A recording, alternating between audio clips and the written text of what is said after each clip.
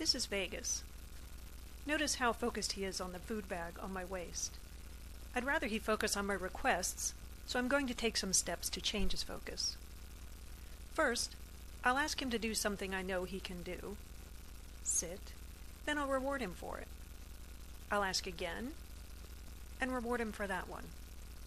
I'm going to ask again, but this time I'm going to remove the bag and put it in sight but out of reach.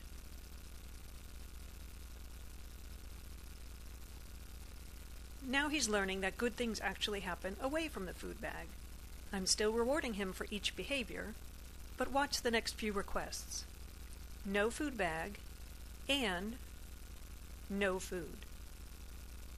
Vegas is learning to perform multiple skills without being rewarded with food for each and every one. Gradually, he'll learn to perform all of his skills without obvious evidence that there will be food involved.